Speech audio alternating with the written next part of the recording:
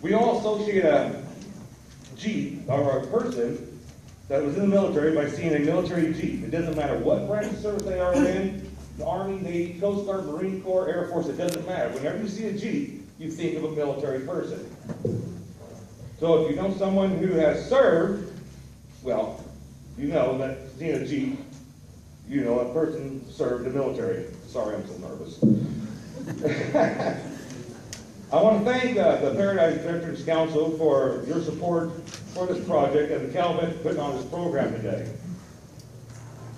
And today, my family and I are donating this three more Aaron 1952 M38 military Jeep to the Veterans Hall. And uh,